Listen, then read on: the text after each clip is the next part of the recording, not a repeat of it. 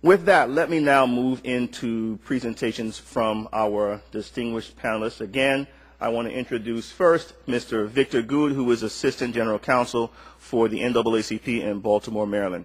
Victor.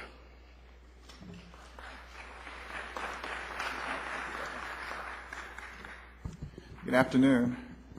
Congressman Hinojosa mentioned that when he was attending school in McAllen, Texas, he attended a segregated school. Well, I didn't realize that he was from McAllen because that's where I was born. And in fact, my father was a principal of one of those segregated schools in McAllen. He was the principal of the segregated black school. And when the district finally decided to desegregate the students, there was no room for a black principal, so we had to go, and we did. With that, last December, we testified with MALDEF at a U.S. Commission on Civil Rights briefing entitled The Over-Inclusion of Ethnic and Racial Minorities and English Language Learners in Special Ed.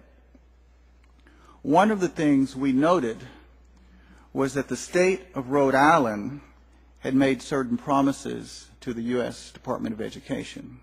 One of those promises was to continue its work in providing guidance and professional development to the districts in Rhode Island on best practices for both identifying and for instructing English language learners who also happen to have disabilities. The state of Rhode Island also promised the U.S. Department of Education that it would begin to incorporate district level disproportionality analyses in its monitoring system. We mentioned the state of Rhode Island only because it was one of one example, and there are states across the country that are facing the same challenge. The issue of appropriate tests for English language learners exists not only in the context of high-stakes proficiency tests. It's also an issue for English language learners whom we suspect have a disability that interferes with their ability to learn. These students require assessments as part of the IDEA's child find requirement or as part of Section 504 of the Rehabilitation Act or the American with Disability Act requirement to reasonably accommodate. Both require culturally competent testing to ensure that we're measuring the disability and not the student's competence in English.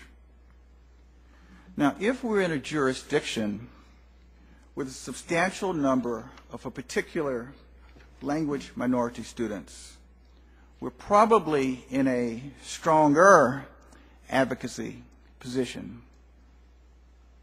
But if we're in a jurisdiction where our language minority clients or constituents are relatively small in number, God help us. And He will. But besides the moral rightness of our advocacy, it's probably a very smart idea to also understand Title VI of the Civil Rights Act, Section 504 of the Rehabilitation Act, and the Americans with Disabilities Act, as well as where to find an expert who can help us with that culturally competent assessment.